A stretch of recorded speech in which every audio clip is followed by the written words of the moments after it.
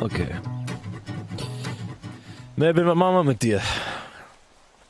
Was denn da? Ich habe gar nichts Katzenfutter wolltest du mir geben. Also, Banz, logische Kommst du an Schlussfolgerung. Tierleckerlis, werden. ob ich an Tierleckerlis komme? Woher kriegt man sowas? Ich habe keine. Rabe sagt ja. Warum ja, Rabe? Rabe hat noch welche. Woher hast du die? Will er nicht drüber reden. Wie viel hast du noch? Weiß er nicht. Kannst du gucken? Könnt ihr mir die zu meinem Haus bringen, bitte? Ja, wir, wir besorgen die kurz und Rabe sagt, er hat noch welche. Ich denke mal, so fünf bis zehn Minuten sind wir bei dir. Hast du die dabei? Ja, kriegen wir hin. Super. Bis gleich. Tschüss. Ich glaube, wir sollten ihm eine Chance geben und ihn, Wie? wenn es ihm. Dem wurde, nachdem er zu Melvin wurde, wurde dem tagelang von Leuten der Staat gezeigt. Er wurde in Situationen gebracht, durch die er sich hätte erinnern können, wer er mal gewesen ist. Dem wurden Orte gezeigt, dem wurden Geschichten erzählt. Der war in Ausnüchterung, der war in Entzug, der war äh, bei den Medizinern, der war im Therapiezentrum von den Medizinern, der ist in der Klapsmühle gewesen, der ist im State gewesen. Der hat alles Erdenkliche hinter sich. In der Zwischenzeit ist aber Zeit vergangen. Eine Sache hat er nicht hinter sich. Waterboarding? Ich hab's nicht versucht. Ich bin immer seine Bezugsperson gewesen. Hm.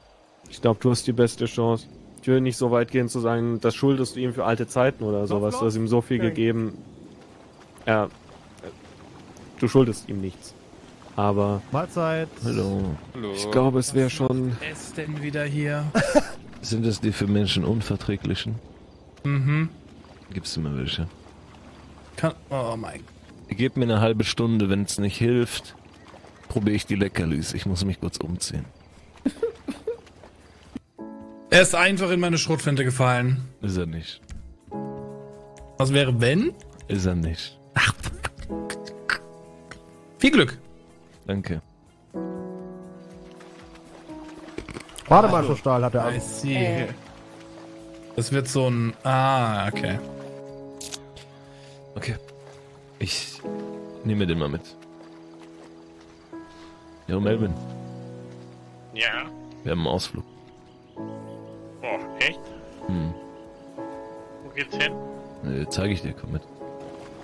Schauen wir mal. Vielleicht kommst du heute Abend noch in den Genuss. Ja, Katzenfutter. Das wäre super. Steig ein. Ja. Ja. War nicht so schnell, mir ist noch schlecht. Ja, ich weiß. Ich war nicht so schnell. Was hast du sonst im Tag gemacht, Diese- Melvin? Erzähl mir was. Dieses Autofahren.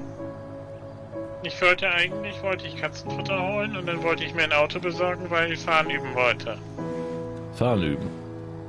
Ja, ich kann kein Auto fahren. Ich Stimmt. versuche mein Leben hier in den Griff zu kriegen, aber es ist voll schwierig. Ich werde doch gestern, haben mir die Roten, haben die, diese rote Leute, weißt du, die waren eigentlich voll nett, aber die haben mir, weiß ich nicht, Koks gegeben und Schnaps und so. Einer hat mir 1500 Dollar gegeben, damit ich sag, ich wäre der Vater von Blake. Ich habe keine Ahnung, wer Blake ist. Weißt du das? Das Ding ist, äh, den Leuten ist halt nur daran gelegen, dich zu schikanieren. Wieso? Ähm, weil die Leute scheiße sind. Die sehen irgendjemanden, der augenscheinlich einen im Tee hat, weil er sich nur mal gerne ein bisschen Schnaps gönnt. Und dann versuchen die dich zu verarschen. Und das ist nicht cool. Und Ich das, lass mich nicht gern verarschen. ja, und das Ich ist auch, fetz die wie Pulled Pork. Wirklich. Nee, ich hab gesagt, ich fetz die wie Pulled Pork. Warte noch mal. Ich fetz die. Ich mach die kaputt wie Pulled Ach, Pork. du ich fetzt reiß die richtig auseinander. Pulled ja, Pork. Ey, ey. Der kriegt die Zähne auseinander. Ich habe verstanden, ich kenne Stevie Pulled Pork und ich denke, wir hätten so einen bescheuerten Namen. Wir haben eine Holding gegründet. Das heißt, wir helfen jungen Unternehmen auf die Beine. Dann zu gucken, dass es bei Oh, den... super. Ich will einen Katzenfuttervertrieb auch machen. Haben Sie Interesse? Oh, schon. Wenn du denkst, dass das Erfolg haben kann, können wir da ja, auf jeden Fall drüber reden. Da drin, ne? Wir hauen da richtig Suchtmittel rein und dann geht das richtig ab. Das sieht hübsch aus. Hm. Wir gehen mal rein.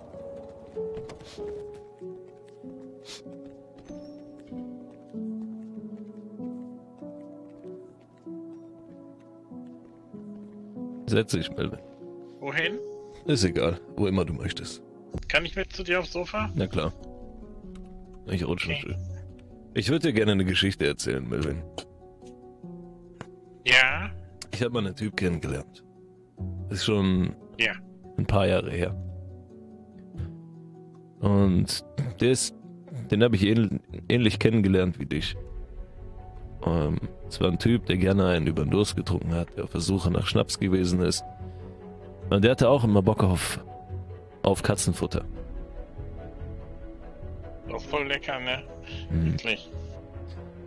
Ja, und dann, als ich, weißt du, bei uns ist das so gewesen, dass wir aus verschiedenen Schichten kamen. Und er hat auf der Straße gelebt und ich war ein wohlhabender Typ, der alles hatte, was man sich irgendwie hat vorstellen können. Und eigentlich ist es so, dass Menschen aus derart verschiedenen Gesellschaftsschichten gar nicht zueinander finden.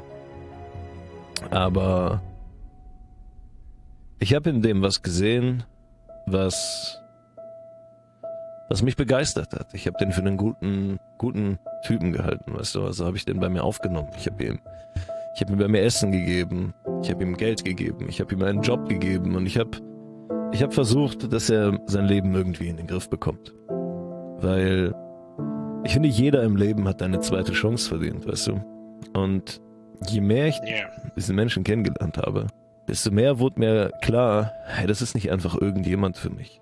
Das ist nicht einfach irgendein Typ, den ich von der Straße geholt habe, sondern er ist ein Freund. Und er ist nicht nur irgendein Freund geworden, sondern er ist mein bester Freund geworden. Und wir waren immer super verschieden und hatten natürlich verschiedene Ansichten, aber ich bin immer für ihn eingestanden, selbst wenn andere Leute Differenzen mit ihm hatten und selbst wenn meine eigenen Mitarbeiter ihn gerade zum Tode nicht ausstehen konnten, bin ich derjenige gewesen, der sich hinter ihn gestellt hat, weil ich gesagt habe, derart kann man nicht mit meinem besten Freund reden. Und ich habe ihn auf meiner gesamten beruflichen Laufbahn, habe ich meinen besten Freund mitgenommen. Und natürlich war das immer ein bisschen merkwürdig und die Leute haben über mich geredet. Ich habe gesagt, guck mal, der hat einfach jemanden von der Straße geholt, jemanden, der Katzenfutter gegessen hat und der sein Leben lang damit verbracht hat oder viele Jahre seines Lebens damit verbracht hat, zu saufen und nicht auf die Beine zu kommen. Aber es ist mir scheißegal gewesen, was die Leute gesagt haben. Denn ich habe diesen Mann nicht in demjenigen gesehen, sondern ich habe einen von mir darin gesehen. Jemanden, den ich geschätzt habe, den ich wahnsinnig wertgeschätzt habe und den ich unbedingt in meinen Reihen haben wollte. Weil er mein Freund wurde. Komm mal mit, Melvin, ich zeig dir was. Da vorne haben wir drei Stühle hingestellt. In der Mitte saß ich Ja. und links und rechts neben mir saßen zwei andere Mitarbeiter von mir. Auch Freunde. Und der, von dem ich dir gerade erzählt habe, ist immer ein kleines bisschen kurz gekommen. Ich saß auf der einen Seite und der saß auf der anderen Seite. Aber eigentlich hätte er verdient gehabt, mit auf der anderen Seite zu sitzen. Ich habe mir immer ein bisschen gewünscht, dass, dass irgendwann der den Platz direkt neben mir einnimmt. In den Stuhl neben mir. Und dann irgendwann haben wir den Hals nicht voll bekommen. Wir wollten natürlich uns beruflich weiterentwickeln, größer hinaus und mehr Geld, mehr Macht, mehr Einfluss. Und das Ganze konnten wir erreichen. Wir haben die Leitung von einem Casino an uns genommen. Und dort hatte ich den Eindruck tatsächlich, dass mein bester Freund, von dem ich dir erzählt habe, richtig aufgeblüht ist. Casino, alles war am Glitzern, der Laden war voll, die Leute waren am Spielen. Und derjenige, auf den alle mit dem Finger gezeigt haben, als er auf der Straße lag, an dem die Leute vorbeigegangen sind, wenn er sie nach was zu essen gefragt hat, der ignoriert worden ist von anderen Menschen, war derjenige, der jetzt das Sagen hatte. Der anderen Leuten im Casino erzählen konnte, was sie zu tun und zu lassen haben, Leute von links nach rechts geschickt hat. Der, der sonst komplett ignoriert worden ist. Dem irgendwelche Leute erzählt haben, er hätte keine Daseinsberechtigung. Und weißt du, ich habe ich habe in, in, in einigen in einigen Punkten in meinem Freund habe ich mich einfach selber wieder gesehen. Denn Auf ihn wurde die ganze Zeit mit dem Finger gezeigt und auf mich wurde die ganze Zeit mit dem Finger gezeigt, allerdings aus anderen Gründen. Ich hatte nicht viele Freunde, denn ich bin nicht dafür bekannt, dass ich Leute unbedingt gut behandle. Ich habe einen sehr, sehr kleinen Freundeskreis, aber dafür einen sehr guten. Kann mir mit Geld alles kaufen.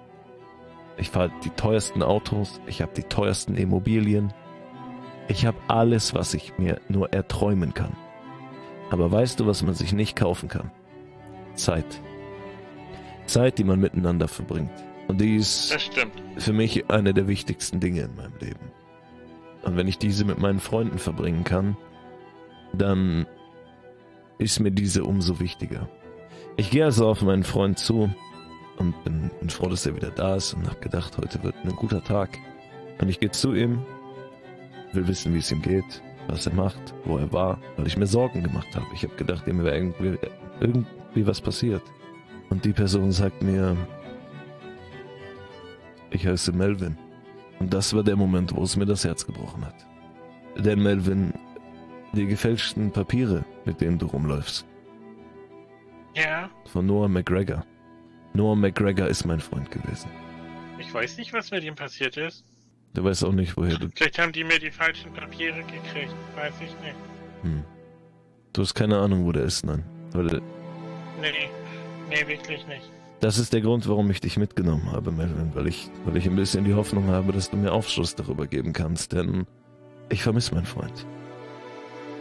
Ich war sechs Monate in U-Haft mit einer riesigen Beule am Kopf in Mexiko und dann haben die mich einfach rausgeworfen. Ich weiß nicht, was los ist. Und die Sachen haben die mir in die Hand gedrückt. Und ich will an mir arbeiten, wirklich. Ich habe viel Probleme, das sehe ich ja ein. Aber das ist nicht so einfach, ne? Ich mein, ich versuche schon Autofahren zu lernen und dann werde ich andauernd von der Polizei angehalten. Oder weiß ich, dann im Knast. Und ich. Ja. Das ist nicht einfach alles für mich.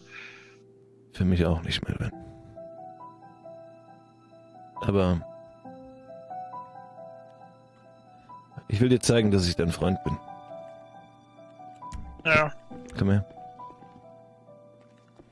Du hast mich nach was gefragt. Katzenfutter. Katzenfutter. Das habe ich, du welches? das habe ich dir natürlich mitgebracht.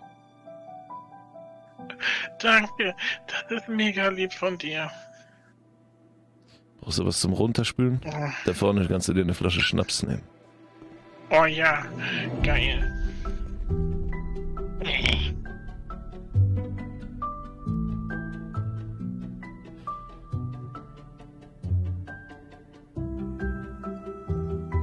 Mach's gut, Melvin.